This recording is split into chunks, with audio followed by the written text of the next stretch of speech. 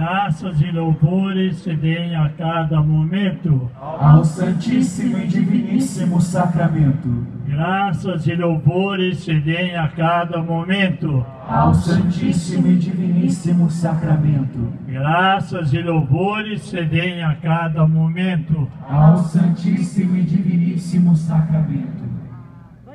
Senhor Jesus Cristo,